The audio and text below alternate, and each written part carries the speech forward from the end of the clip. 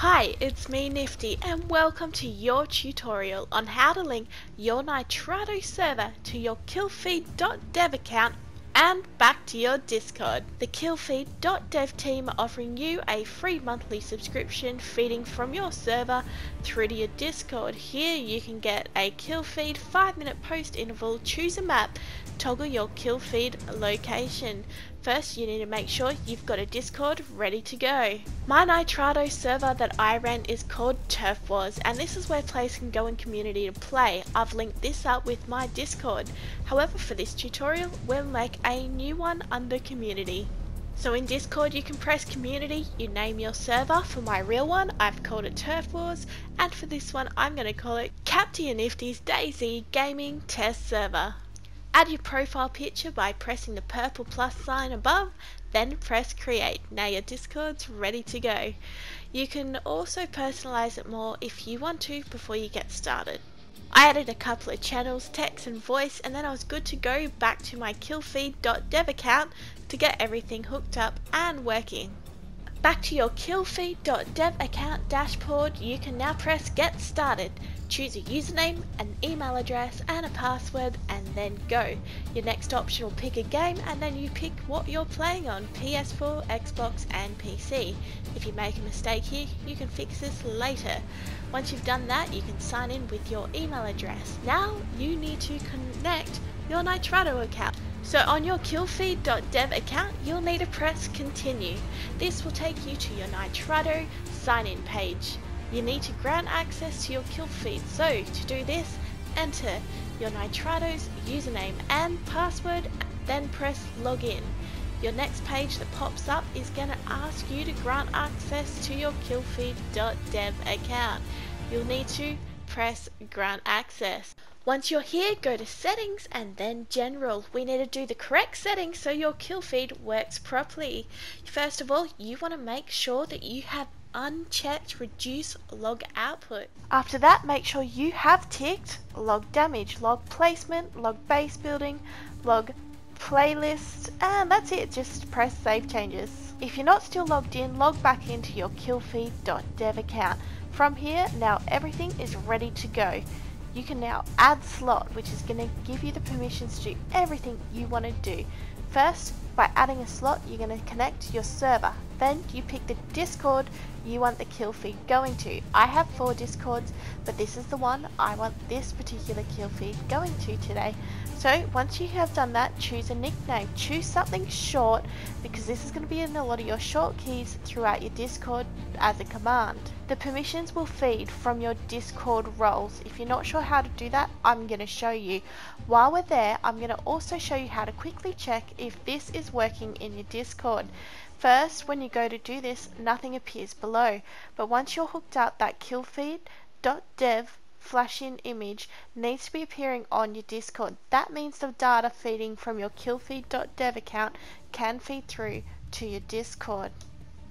Whatever the roles are set up in your Discord are going to be the roles that you can see here in your killfeed.dev permissions. I've kept this one really simple. I've got pretty much player and Nitrado control. The to control ones are the ones I want to give more access to. If you need to add more roles in Discord, you can go through to your settings, roles, add more roles. However, we don't need any more because this is just a demo account. So in here where you've got kind of these settings for everyone, you want really simple commands only. So that might be things like viewing a bounty or viewing how many players are online. You don't want to be giving these guys all the permissions to add, kick, ban, whitelist, remove whitelist, add currency, remove currency, and all those types of things. You want to keep those kind of settings for the players below which might be your admins or your Nitrado controls. So a Nitrado control, I'm going to give them access to add, remove currency, kick, ban, add whitelist, pretty much everything that I would trust this type of player with.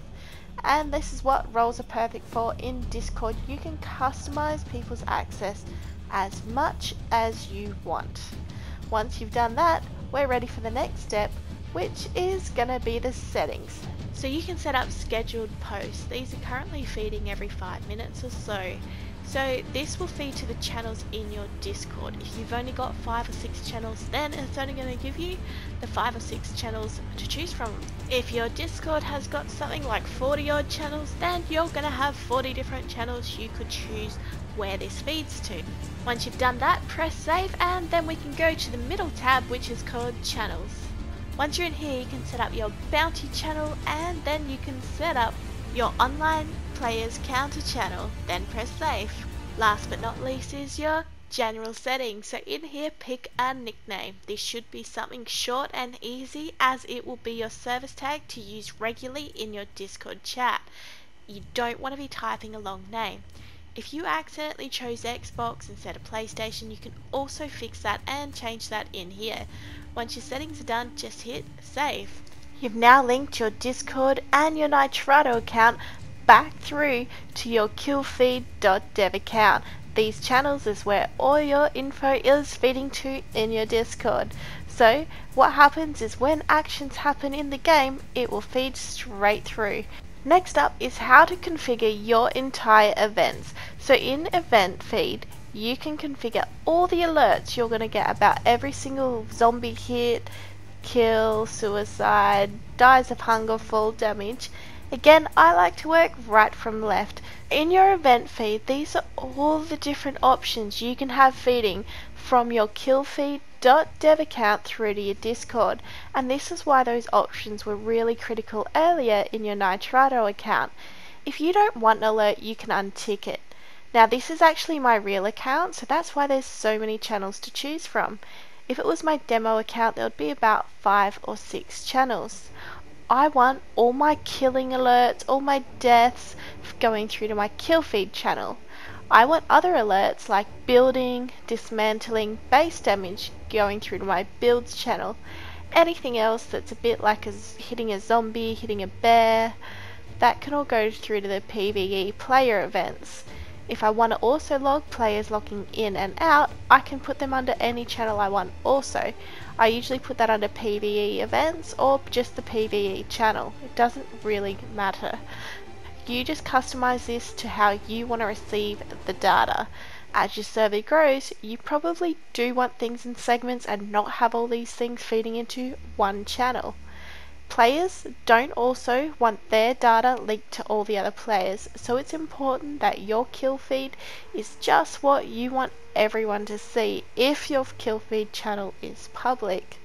Not all discords promote a kill feed. I do, as most of my community wants to know who killed them or who they killed. Next up, you can change the titles of any of those settings that you just saw. Sometimes I like to write silly little comments in when people die. So if someone dies of hunger, I might write something like, you should have eaten food, dies of hunger. You can customize that as much or as little as you want. And last of all is the front page. In here, you can choose whether you want to show a kill feed or not and whether you want to show locations or not. You can swap your map between Chernarus and Livonia. You can change your embed colour. Mine's pink, the default is yellow. You can have red, blue, whatever you choose. If you're not sure how to get your image URL, you could always drag a picture into Google Images, copy the URL and paste it in. That means you'll have a custom image instead of the default one. You can always upgrade to Premium, Pro or Ultimate to look at getting things like a whitelisting, a currency, bounty, base alarms. I love base alarms by the way in the safe zones. You can also have a safe zone um, so the alarm will go off when someone enters the safe zone and you can set the radius to whatever you like. That's one of my favourite features on the ultimate plan uh, which was the first plan that I personally subscribed to.